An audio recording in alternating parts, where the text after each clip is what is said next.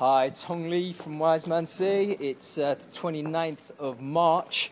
Um, I'm in Hoxton, um, and I am. I've just come off the line to uh, to Omowale Casselle, uh, the CEO of MySenSay. Um, very interesting New York-based business. Um, they basically are a talent community platform uh, which provides uh, a, a, forum uh, where uh, employers can connect uh, with uh, graduating students and what have you.